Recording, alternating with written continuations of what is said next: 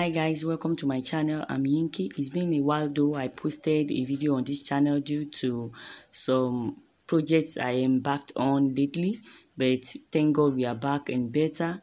And uh, we really want to appreciate all our existing and returning subscribers. Thanks for your love and we appreciate you. And today we shall be making a lace-up dress with eyelets or grommets and I shall be teaching you how to do that in this video. So the picture of what we want to make is on the screen. So I'll be teaching you how to use the grommet setting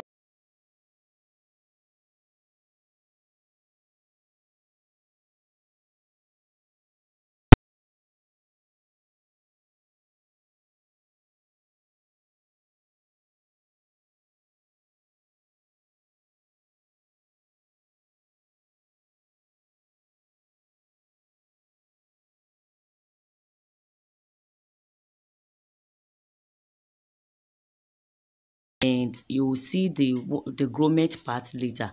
So the this is the eyelet plier and i also have underneath it the soldering iron for puncturing hole because there are some pliers that has that um, function. But if you do if you if you don't have that type of plier you can get your soldering iron to make the hole very very neat. And I will start with the pattern drafting input the neckline. So because it's the kind it's a kind of neckline that will have um, a yoke on top I don't want the neckline to the neck depth to be too deep. It's by the depth is by one inch and the width is by three inches. So here is the lace up um, underlay.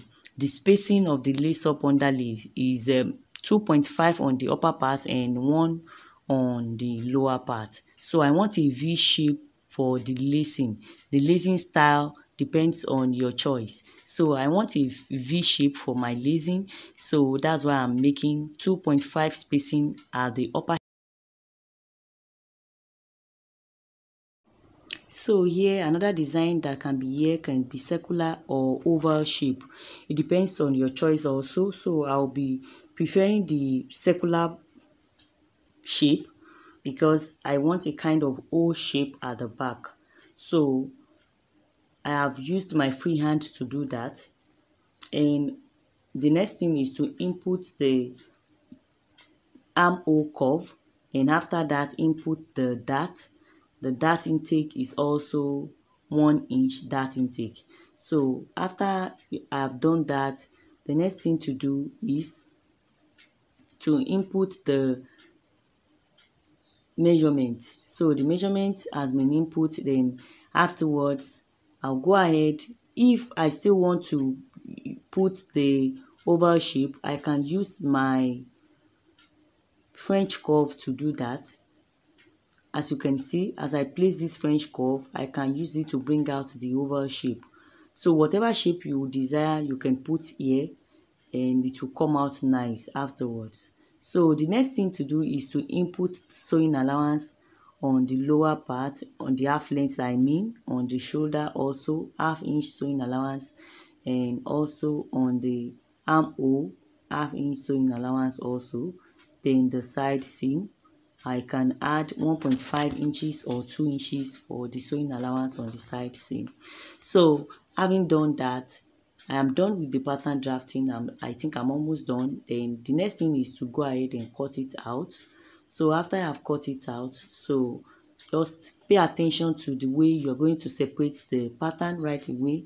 The first thing to do is to remove the center back from from the design that will make the V shape so I'll first of all take out the V shape and it will serve as the lacing underlay. It will be under the lace up dress. So after I have done that, the yoke, I'm going to separate the yoke from the bodice. Then remove this part, the O shape that I said I want for the back. So this will be open. This will be open. The back will be opened like so. Then I will remove the yoke.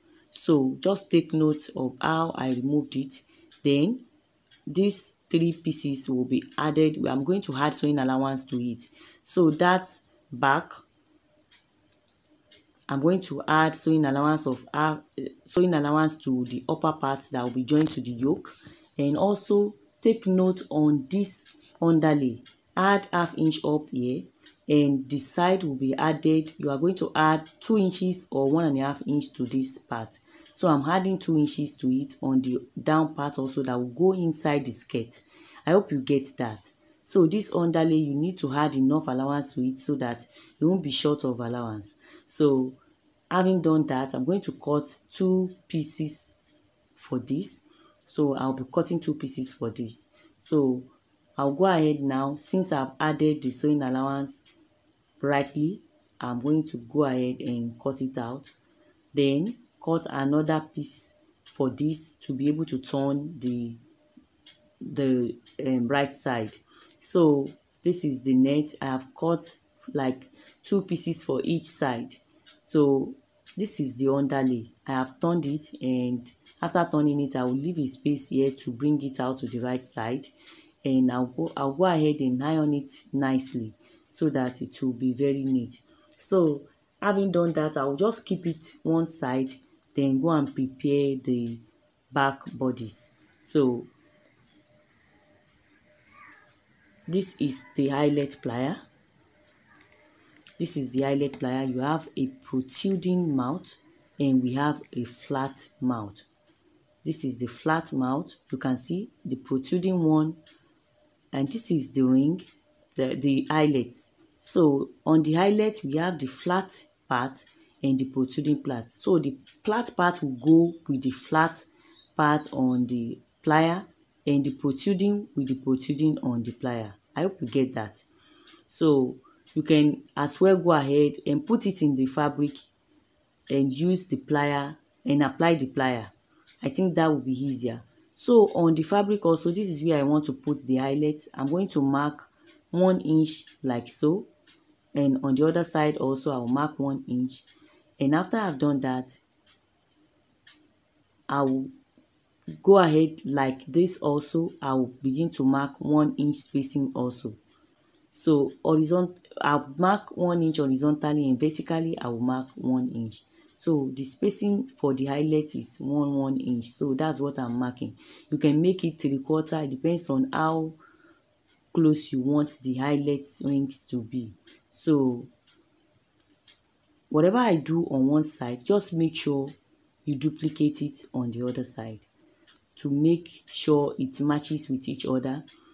So after I have done that on those points I will apply my soldering iron. I'll just make sure the soldering iron is plugged to power source and it's very very hot so be careful while you are puncturing it.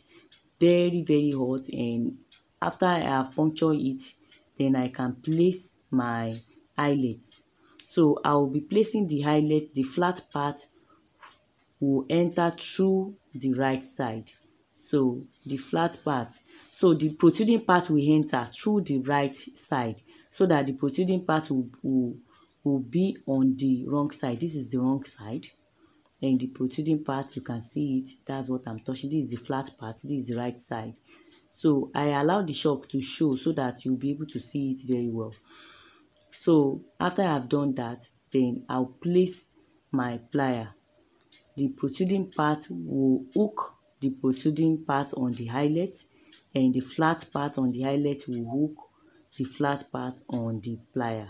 So having done that i'll press it press it and the job is done. So having pressed it the eyelet is so you can see the eyelet is there right away on the fabric and it's it has stick to the fabric and nothing can remove it. It's very very neat. But let me tell you that the eyelet is not as neat as the grommet So when we get to the grommet part, you will understand what I'm saying. So I will continue the process for all the points that I have marked. So I will use the soldering iron to puncture and after I have punctured it, I've created the hole neatly. I'll place my eyelet you can see how I am placing it this is the right side from the right side I'll push it inward so I'll just push it inward and it will come out on the wrong side. Then afterwards you can see it. When it has come out very well I'll just make sure that the hole is not too big because if the hole is too big you will spoil the whole fabric. After the eyelet has been placed you can now apply force on the plier. So it is the force that you apply on the plier that makes it hook the the fabric and makes it stick to the fabric. So this is the second one that I have made. You can see how it is the wrong side and the right side. So I have done the two sides. As you can see I have done the two sides and this is the underlay. This is the underlay so I'll just put it under as the name implies. So after I have put it then I'm going to stitch the underlay like so. So I will run a stitch at the back of the eyelet to make in order the reason why we are running the stitch at the back of the eyelet is for lacing to be possible. Because if you are not very careful you will end up attaching it in a way that you want to lace up your dress and it won't be possible. So make sure you run the stitch at the back of the eyelet like so open it up like so and then you're good to go. So after I have done this the next thing to do is to bring the other side. So the other side you are not going to stitch it to the other side. You can use your press button for this other side. You can just put that press button in two or three places to just hook it whenever you want to wear your dress. Or you can use hook and eye like that one that we put in our bra. So you can also use your plaster fabric plaster also can do the job. So having done that this is the part that the skirt will be attached to so I'll be showing you that when I come back from this break.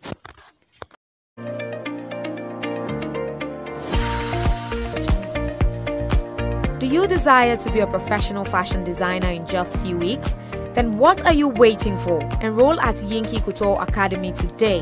Our online, offline, and physical trainings are open in the following classes advanced class for 4 weeks, intermediary class 8 weeks, and beginner class for 20 weeks.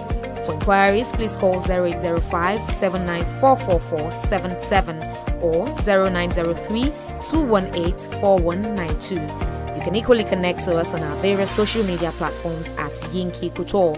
Yinky Couture, home of dressmaking techniques.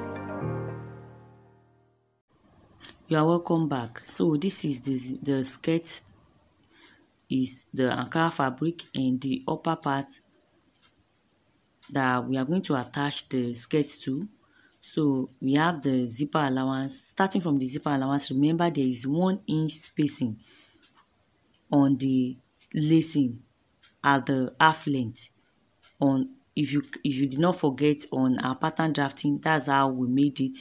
That there is one inch spacing and on one side. So you are going to leave that one inch spacing before you start attaching it to the upper bodice so and that's what i have done here. I hope you get that. So after i have attached the skirt to the upper bodice leaving the one inch spacing and the zipper allowance. This is what i have. I will do that on the both sides. Whatever i have done to one side i will repeat the same process for the other side. As you can see that's where i'm touching. This is the zipper allowance and the spacing of one inch is left also. So I'll go ahead and do the same thing for the other side also leaving the zipper allowance and also the one inch spacing making two inches altogether. So I will just mark it with my chalk and start from that point. So this is what we drafted on the pattern and we are repeating the same thing on the fabric. So i'm going to match the that with each other on the fabric on the skirt and also on the upper bodice. So i will attach it like so. I think it's very very easy. It's not something difficult at all. So after you have done that this is what i have. I can go ahead and fix my zipper and uh, we are going to have our back almost ready. So our lace up back dress the our lace up dress is almost ready as you can see. So i will just go ahead and fix my zip. And after the fix the zip has been fixed this is what we have. As you can see this is what i have. And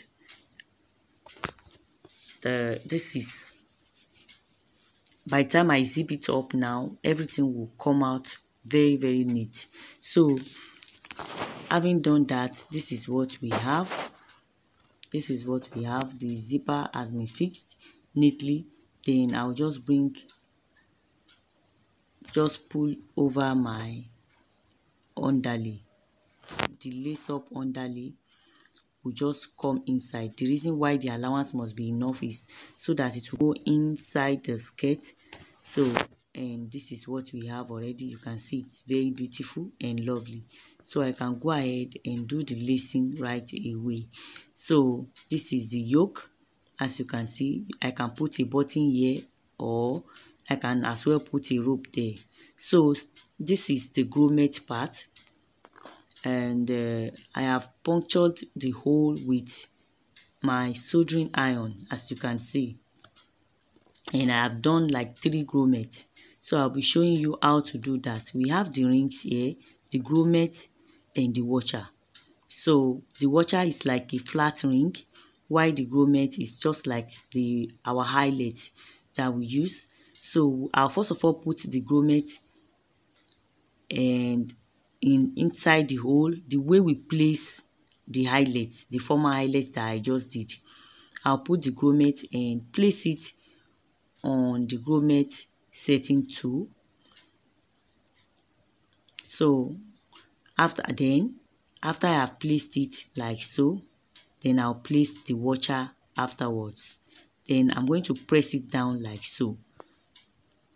Press it down like so. So after I press it down like that it's you can see the result is very neat. It's neater than eyelets that's the difference between this. It's neater than using a plier.